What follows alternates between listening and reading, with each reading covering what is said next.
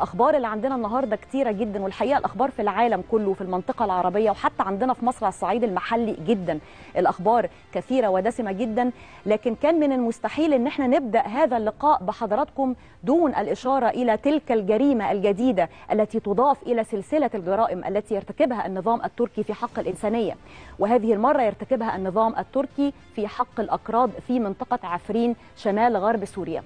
الحقيقة إنه النظام التركي قام بقصف هجومي عسكري لهذه المنطقة بالغازات السامة الكيماوية رغم أنها من الأسلحة المحظورة بموجب القانون الدولي. ولم يتوقف الجيش التركي عن ارتكاب ممارسات كثيرة جدا بحق الأكراد.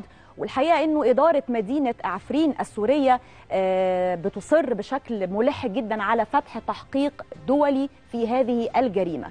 اللافت للنظر في هذا الموضوع ولمن يتابع ما يحدث في مدينة عفرين السورية أنه أردوغان الذي بدأ هذه العملية الإجرامية ضد أهل هذه المنطقة المدنيين والأطفال والشيوخ والكبار والرجال والنساء والشباب وكل من هناك في هذه المنطقة يقوم بضربهم بالسلاح الكيماوي المحرم طبعا دوليا والتي بدأت هذه العملية منذ 20 من يناير الماضي. اللافت للنظر إنه اختار اسم غريب جدا ليطلقوا على هذه العملية. قرر إنه يطلق على هذه العملية العسكرية اللي بالغازات الكيماوية السامة المحرمة دوليا عملية غصن الزيتون. طبعا عملية غصن الزيتون يعني رمز السلام. يتحول بذلك هذا الرمز للأسف الشديد إلى رمز للدمار والاحتلال. الحقيقة إنه أكثر من شهر الآن مر على هذا القصف. خلف خلاله المئات من الجرحى والقتلى من المدنيين العزل. هجوم وحشي لا يرحم لا طفل ولا امرأة. ده غير طبعا نزوح الآلاف من عفرين اللي كانت مشهورة يمكن لغاية ثمانينيات القرن الماضي في الكتب المدرسية السورية باسم جبل الأكراد أو كانوا بيقولوا عليها جبل لكراد. الحقيقة أنه هذه العملية الغاشمة ما بين يعني ربما استنكار بعض الدول ما بين يعني بعض الإدانات الخفيفة أو البسيطة جدا التي يعني قام البعض بإطلاقها إدانة لهذه العملية لكن في النهاية نجد انه المجتمع الدولي لم يتحرك بشكل كبير جدا. خلونا سريعا لمن لا يعلم نذكر بعض الحقائق.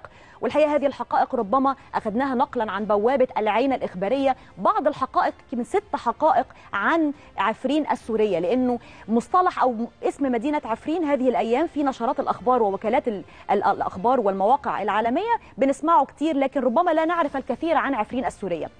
عفرين السورية سيطر عليها الأكراد منذ عام 2013 وهي إحدى مناطق الإدارة الذاتية للأكراد في سوريا والحقيقة أنها بتمثل بجانب عين العرب ومدن الحسكة كردستان كردستان السورية. إحنا عارفين إنه في كردستان عراق وكردستان سوريا وإذا هذه المنطقة أو هذه المدينة بتمثل إلى جانب عين العرب ومدن الحسكة كردستان السورية. الأكراد أعلنوا في مارس 2017 اتفاقا لإنشاء قاعدة روسية فيها وترفض أنقرة بشكل واضح سيطرة الأكراد على هذه المدينة بل وتهدد أو كانت تهدد بدخولها هي الآن لم تدخلها فقط وإنما بتضربها بالكيماوي وشهدت عفرين مناوشات بين الأكراد ونظام أردوغان. دي بعض الحقائق عن سوريا. مرة تانية بكرر ما بين صمت دولي ملاحظ جدا ما بين بعض الإدانات البسيطة جدا ربما لم تصل ردود أو لم تنطلق ردود كثيرة جدا. هي أنه إدارة مدينة عفرين بتطالب بفتح تحقيق دولي في هذا الموضوع وفي ممارسات نظام إردوغان. الحقيقة لو حضراتكم شفتوا المناظر واللقطات اللي فيها الأطفال واللي فيها الشيوخ واللي فيها النساء واللي فيها كل من أصاب أصاب بالكيماوي لقطات أكثر من بشعة.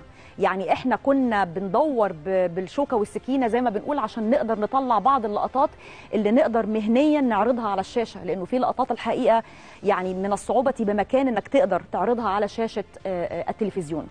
لكن خلونا من سوريا ننتقل إلى قطر لأنه سوريا طبعا بنتكلم عن ما يفعله نظام إردوغان التركي فيها من ممارسات ضد الأكراد. والحقيقة أنه مش هنبعد كتير. تركيا عن قطر. أكيد طبعا حضراتكم عارفين أنه بالوقت الآن المجتمع الدولي ربما أصبح يعني يعول كثيرا على فكرة أنه قطر وتركيا ربما أو النظام التركي والنظام القطري ربما يكون عملتان يعني عملة ذو وجهان الحقيقة إنه بالحديث عن قطر وكالة بلومبرج وده كمان خبر مهم جدا استوقفنا قالت إن قطر ضخت حوالي 43 مليار دولار في النظام المصرفي العام الماضي. وده بعد ما تسببت المقاطعة العربية التي تقودها يقودها الرباعي مصر والسعودية والإمارات والبحرين في كم كبير جدا من الخسائر وانخفاض كبير جدا في الودائع في المصارف القطرية. ده يمكن الخبر اللي هنشير ليه سريعا لأنه بس ده أحيانا بيكون رد على البعض اللي بيقول فادتنا بإيه؟ المقاطعة. المقاطعة بالفعل قد تفيد إلى حد كبير. على الأقل نشعر الجانب الآخر أننا لسنا بضعفاء وأن هناك عزيمة عربية عندما نتوحد وتتوحد كلمتنا ضد الإرهاب نستطيع أن نفعل.